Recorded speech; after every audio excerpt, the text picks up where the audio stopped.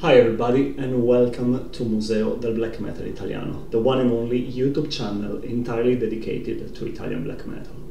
I am Rob, I'm your host and today we are going to be talking about Astar and their debut album Battlekeep. For whom out there doesn't know Astar? So Astar is a brand new band that came about less than a year ago and they have recently published on CD format as a uh, self-production their debut album Battlekeep that has been pressed in just about 50 hand numbered copies. So in case you might like this one guys please please check them out on Bandcamp recover a copy before it uh, solds out and you know just support the band. Astar uh, are a project that is actually like promoting itself as a black metal dungeon synth act. And this is, in my opinion, just part of the story.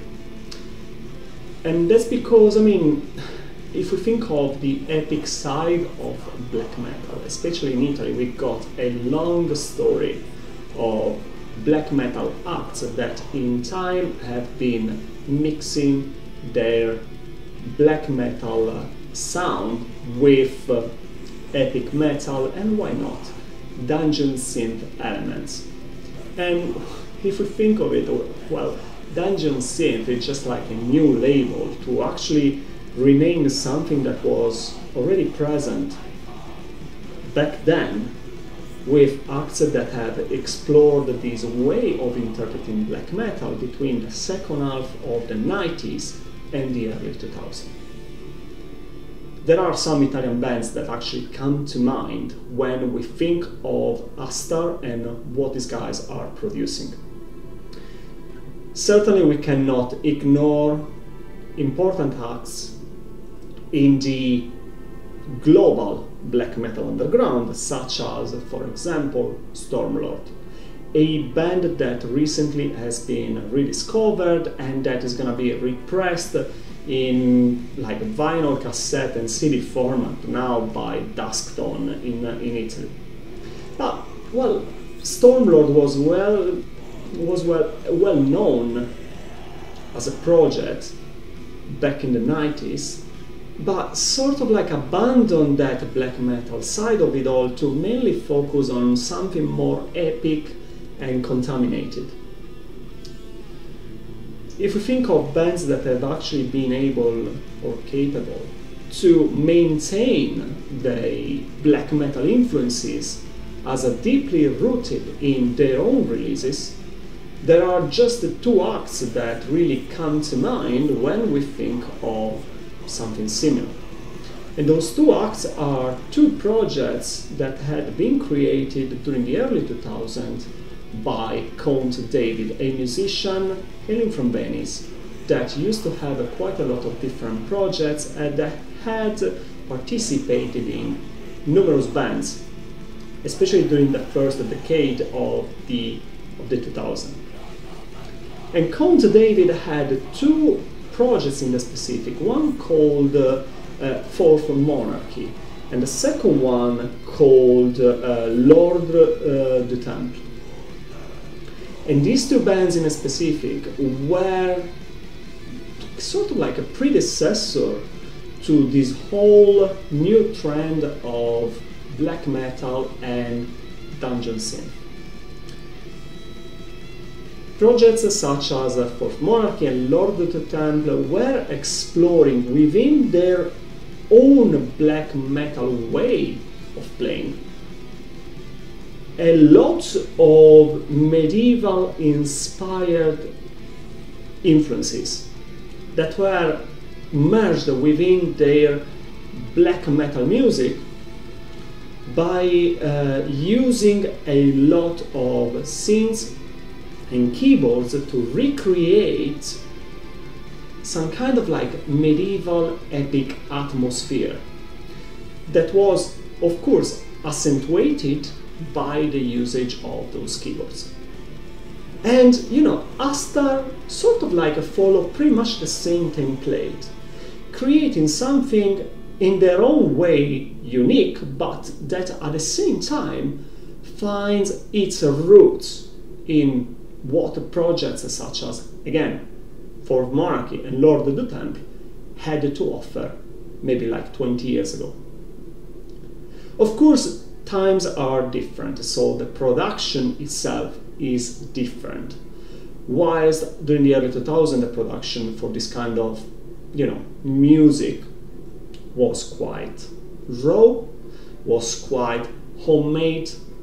Although Astar's work might not be like a studio recording 100% because yes, it sounds like you know home recorded uh, and home produced. The quality is anyways better, and this better quality transpires mainly from those epic medieval inspired moments, whereas the production is actually way over average in comparison to what we used back, what we used to create back then. But then, in opposition to these, uh, you know, well-produced side of Battlekeep, we find that the black metal element that it isn't as well produced and actually clashes with uh, the epi- epicness of, of it all, creating an interesting contrast in between uh, the, the good side of it and the bad side of it. Where, you know, for the good side, you have like all those scenes and melodies and, uh, and the medieval uh, inspired atmospheres. And on the bad side, you get like the black metal rough edge of Astar's music. The combination of these two factors is actually quite interesting. Again, nothing new in comparison to many other bands out there and things that have been actually created over over like uh, 15 years ago but the result is actually quite convincing of course being a debut i believe that these guys could perform better in future you know there is always some room for improvement and i totally believe that you know with a little bit more uh, attention to the overall compositions and the way things are being put together, there could be like a massive difference for a potential upcoming release. And I don't know if that's the case, but with the fact that two of these guys are actually based in Italy and the drummer is actually based in Australia, I feel like you know the dynamics there are not as good as they should to create something totally memorable and something that you know might be making a huge difference in comparison to so many other bands out there. And with that said, I mean, don't get me wrong, Battlekeep is actually a good debut album. It's quite strong. Consider that this band, just as said, came about less than a year ago. But I feel like there could be something better in terms of composition. There could be something better in terms of like you know putting those influences together and although the formula used by the band is pretty much convincing, you know, I feel like that could be something more to either accentuate that epic side of the story or to accentuate the black metal side of the story or maybe finding a way to combine the two of them together by improving the overall production and taking maybe the black metal aspect of Battlekeep in line with the quality that the epic side of it has got to offer. Again, it is a strong debut in comparison to quite a lot of other bands out there in Italy and abroad, and I feel these guys actually did a good job.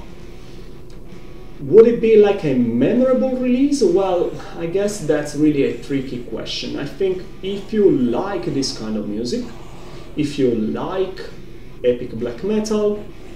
If you like, you know, that medieval touch added to what black metal has got to offer, especially in consideration of nowadays trends, I guess like Astar could be an interesting release for you to be added to your collection and definitely you're going to be enjoying it.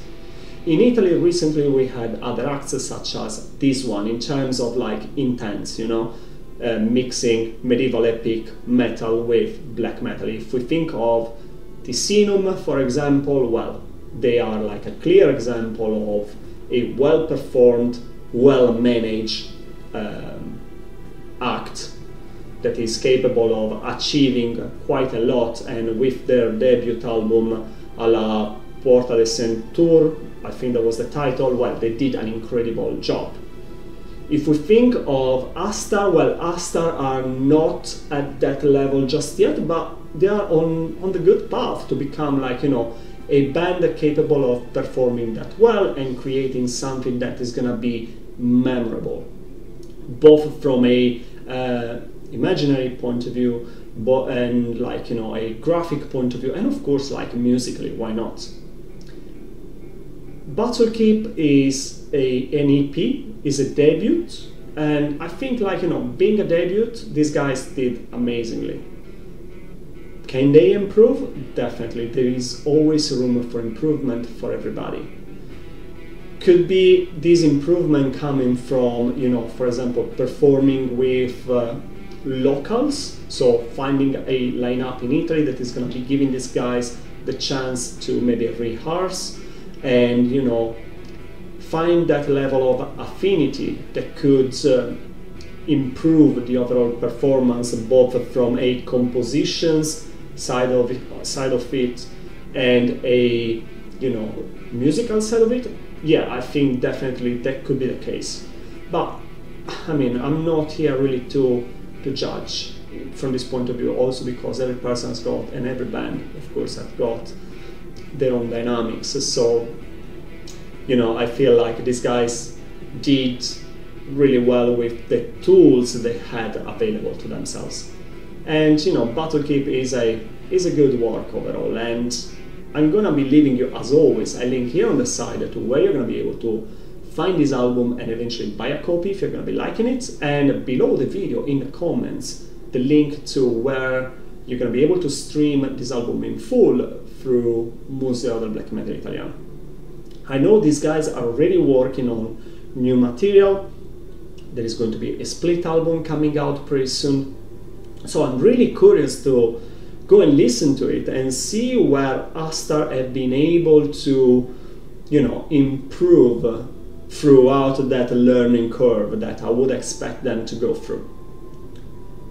Just as a last note to this review, I feel like if you like epic black metal, think of it as a, a good mix to a certain extent in between Absu and their uh, early works, uh, The Sun of Tiphareth and The Furthest Storm of Cythraul, mixed with summoning.